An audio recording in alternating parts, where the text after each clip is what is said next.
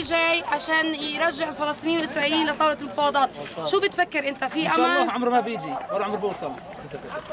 ليش؟ الله يلعنه ويلعن جيته. حقير ساكت. ليه ليه ليه ليه؟ يعني ما مش حاسس إنه ممكن يعمل شيء هذا مصلح إسرائيل أصلا. هذا ما بده سلام.